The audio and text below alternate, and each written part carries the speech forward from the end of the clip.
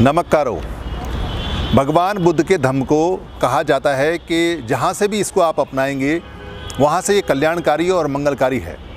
ऐसा कहते हैं कि धम्म आदि में यानी प्रारंभ में इनिशियल स्टेज में, शुरुआत में, मध्य में, बीच में, यानी इंटरमीडिएट और अंत में, यानी लास्ट में, समापन में, जहाँ से भी आप इसको मानेंगे, वहाँ से ये आपका कल्याण करेगा और आपको सुखी बनाएगा।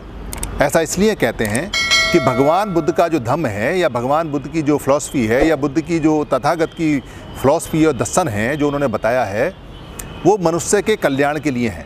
उसकी सारी बातें मनुष्य के फ़ायदे के लिए हैं। आप जहाँ से भी उनकी बातें मानना शुरू करेंगे पूरी फ़िलासफ़ी में, वहीं से आपको लाभ होना शुरू हो जाएगा। इसको आप ठीक ऐसे समझें कि जैसे आप बहुत ज़्यादा खाना खाते हैं और खाना खाने के बाद में आपको गैस बनती है। अगर आप उस गैस से बचना चाहते हैं तो आप खाने की जो क्वांटिटी है या क्वालिटी है क्वालिटी सुधार लीजिए और क्वांटिटी कम कर लीजिए।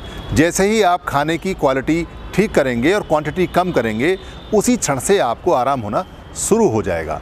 ऐसे ही भगवान बुद्ध ने जितना धम्म दिया है, ये आप यही माने कि ये एक समुचित मात्रा और समुचित आवश्यक पदार्थ है शरीर के लिए। जैसे आपने, उन्होंने कहा कि आपको झूठ नहीं बोलना है।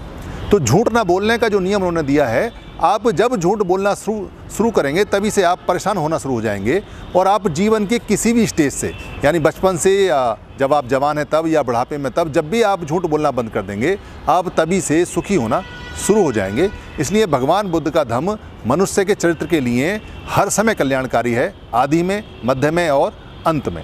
धन्यवाद। अगर आपने अभी तक हमारा चैनल सब्सक्राइब नहीं किया है तो सब्सक्राइब करें और घंटी का बटन बिल्कुल भी दबाना ना भूलें, ताकि सभी लेटेस्ट खबरें पहुँच सकें आप पे सबसे पहले।